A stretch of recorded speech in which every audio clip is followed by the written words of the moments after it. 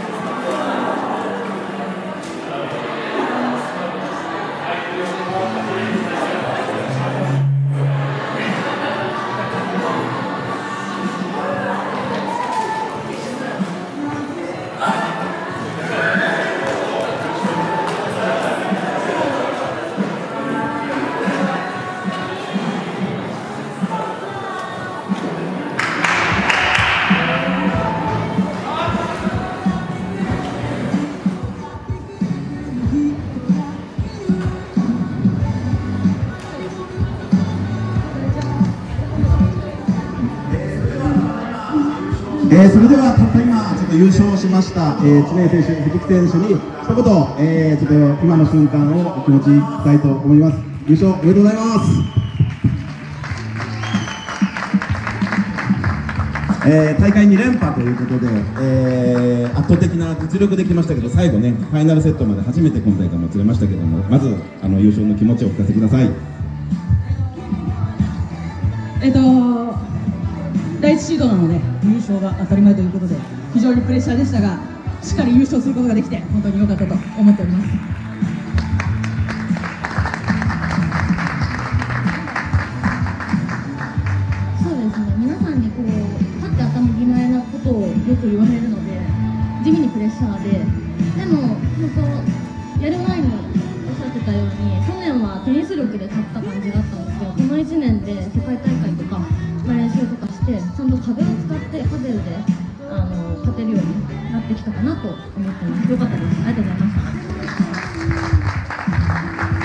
初めてあの YouTube であのライブ配信をして、えー実は結構多くの方が見てたんですけれどもあの最後3セットファイナルになってからねまた一気にあの人も実は増えまして、えーここだけじゃなくて、まあ、この他にも多くの方が、えー今の試合見てらっしゃいました、えーぜひこれからのパデルとあとまあこれから今日来てくださった方に一言ちょっとぜひお願いいたします。全国の全世界の皆さん。えーいつでも私にかかってこい。えー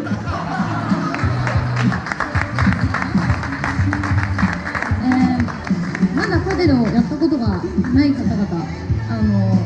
誰でも気軽にできるスポーツなのでぜひ始めてみてください。ありがとうございました。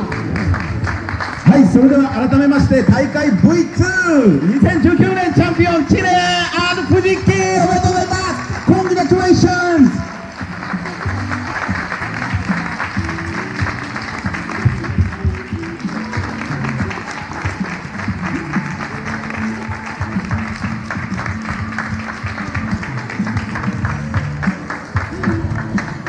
えーそして最後、ファイナルセットまで持ち込みました、えー今大会初めて、ね、セットを落とした相手、えー西浦、え西村ペアにも大きな拍手をお願いいたします。